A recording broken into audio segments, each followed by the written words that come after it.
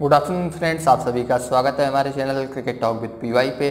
अगर अभी तक आपने हमारे चैनल को सब्सक्राइब नहीं किया है तो लेटेस्ट क्रिकेट न्यूज़ और अपडेट्स पाने के लिए अभी सब्सक्राइब करें। इस वीडियो में हम बात करने वाले हैं आईपीएल 2020 के मैच नंबर 22 जो है Sunrisers Hyderabad versus king eleven Punjab, जिसका हम प्रीव्यू करेंगे सात सेगमेंट्स में। पहला सेगमेंट मैच इन्फो, दूसरा हेड टू हेड तीसरा सेगमेंट प्लेइंग इलेवन चौथा फैंटेसी इलेवन और पाँचवा रहेगा हमारा प्लेयर्स बैटल छठा स्टेट्स एनालिसिस और सातवां रहेगा हमारा मैच प्रिडिक्शन तो चलते हैं अपने पहले सेगमेंट की ओर। That is match info. तो मैच इन्फो की बात करते हैं। मैच है Sunrisers Hyderabad versus king eleven Punjab. Indian standard time के अनुसार ये शाम साढ़े सात बजे से स्टार्ट होगा और वेन्यू की बात करते हैं वेन्यू है दो इंटरनेशनल क्रिकेट स्टेडियम और यहाँ पे एवरेज फ़र्स्ट इन टोटल की बात करते हैं, रहता है 179 तो एक हाई स्कोरिंग ग्राउंड है ये और यहाँ पे बहुत ही तगड़े मुकाबले देखने को मिलते हैं। जहाँ पे बैटिंग टीम्स जो ज़्यादातर जीतती हैं, जो टीम पहले बैटिंग करती है, वो ज़्यादा पल्ला जिनका भारी रहता है। तो इस मैच में भी जो टीम पहले बैटिंग करना, टॉस जीतेगी वो पहले बैटिंग करना चाहेगी। अब चलते हैं दूसरे सेगमेंट की ओर that is head to head record to head to head record की बात करें तो अभी तक चौदह मैचेस खेले गए हैं सनराइजर्स हैदराबाद और किंग इलेवन पंजाब के बीच में, जिसमें दस मैचेस सनराइजर्स हैदराबाद ने जीते हैं और सिर्फ़ चार मैचेस जीते हैं किंग इलेवन पंजाब ने। तो पूरी तरीके से यहाँ पे पड़ रहा सनराइजर्स हैदराबाद का भारी जिसने किंग इलेवन पंजाब को पूरी तरीके से डोमिनेट कर रखा है अभी तक के हेड टू हेड रिकॉर्ड में। अब चलते अपने तीसरे सेगमेंट की ओर दैट इज़ प्लेइंग इलेवन तो प्लेइंग इलेवन से पहले आपको टीम न्यूज़ बता दें तो टीम न्यूज़ आ रही है सनराइजर्स हैदराबाद से। माफ़ी, वो भी टूर्नामेंट से रूल आउट कर चुके हैं और उनका उन्होंने रिप्लेसमेंट भी ले लिया है। लेकिन खलील अहमद इस मैच में खेलते हुए देख सकते हैं, सिद्धार्थ कॉल किएगा क्योंकि पिछले मैच में सिद्धार्थ कॉल का प्रदर्शन बहुत ही खराब था, निराशाजनक था। और किंग इलेवन पंजाब की टीम उसकी बात करते हैं तो वहाँ पर मुजीबुर रहमान या हार्डस बिल जॉइन हमें खेलते हुए दिख सकते हैं क्रिस जॉर्डन की जगह, क्योंकि उनकी परफॉर्मेंस लगा, दो मैचेस से बहुत ही ज़्यादा ख़राब है। पहला मैच खेले थे, तब भी बहुत ज़्यादा पिटाई हुई थी उनकी। और कल भी जब पिछला मैच खेला था, उसमें भी काफ़ी ज़्यादा मार खाई थी सी के खिलाफ। तो यहाँ पे देखना होगा क्या हार्डस बिलजॉइन या फिर मुजीबुर रहमान किसके साथ जाएगी किंग इलेवन पंजाब की टीम तो अब चलते हैं प्लेइंग इलेवन की तो सनराइजर्स हैदराबाद की प्लेइंग इलेवन की बात करते हैं यहाँ पे। David Warner Jonny Bairstow Manish Pandey Kane Williamson Priyam Garg Abhishek Sharma Abdul Samad Rashid Khan Sandeep Sharma Khalil Ahmed T Natarajan यहाँ पे सिर्फ़ एक चेंज में दिखेगा खलील अहमद खेलते देख सकते हैं सिद्धार्थ कौल की जगह। और किंग इलेवन पंजाब की टीम की बात करते हैं तो वहाँ पे के Lahaul, captain Mayank Agarwal, Mandeep Singh, Nicholas Pooran, Glenn Maxwell, Sarfaraz Khan, Chris Jordan और मुहिबुर रहमान, हरप्रीत बरार, स्लेस ईशान पोरेल, रवि बिश्नोई, मोहम्मद समी सेल्डन कॉटरेल। ये थी दोनों टीमों की प्लेइंग इलेवन अब चलते हैं अपने चौथे सेगमेंट की ओर दैट इज़ फैंटेसी इलेवन तो फैंटेसी इलेवन मैं यहाँ पे अपनी पहले फैंटेसी इलेवन आपको बता दूँ।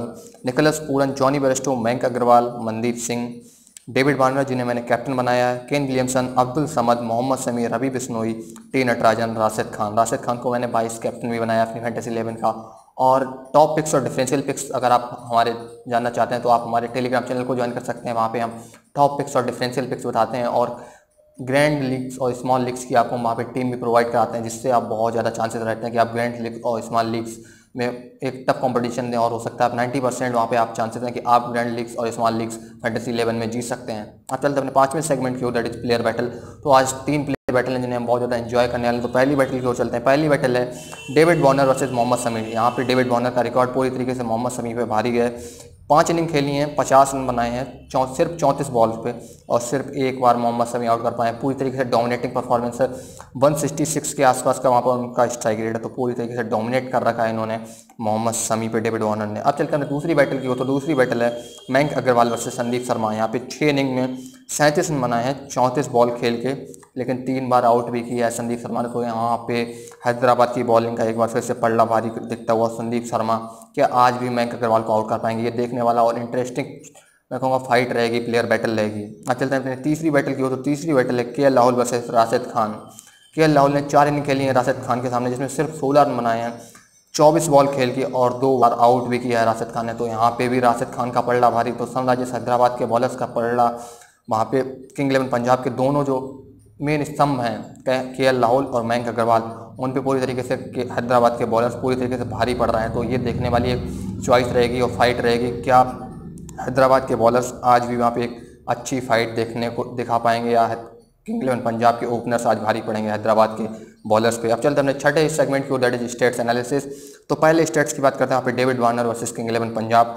सत्तर इनिंग्स के लिए आठ सौ उन्नीस बनाए चौवन का एवरेज है, एक सौ बयालीस का स्ट्राइक रेट है। और 10 फिफ्टी भी हैं। तो एक बहुत ही तगड़ा रिकॉर्ड है डेविड वार्नर का किंग इलेवन पंजाब के खिलाफ। और हम यही उम्मीद करते हैं कि यही रिकॉर्ड आज कंसिस्टेंटली रखें किंग इलेवन पंजाब के खिलाफ। और इसी उम्मीद के साथ हमने फैंटेसी इलेवन में भी उन्हें आज कैप्टन बनाया है।